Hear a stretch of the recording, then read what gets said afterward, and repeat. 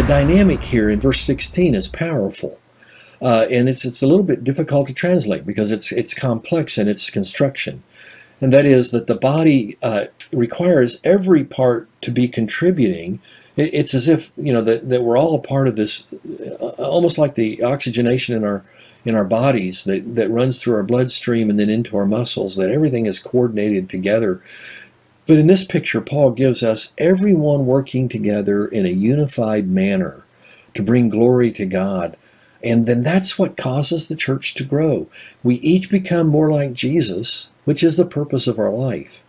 And as we become more like Jesus, as he, he becomes the Lord of our hearts and our lives become fully surrendered to Him, then the body grows together and then is able to reach out and function as the body of Christ in the world.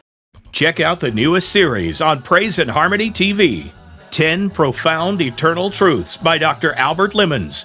This in depth series covers everything from the triune God and the virgin birth all the way to the resurrection. Dive deeper into the truths you've heard about your whole life. Jesus wept. Jesus didn't cry because a good man was dead.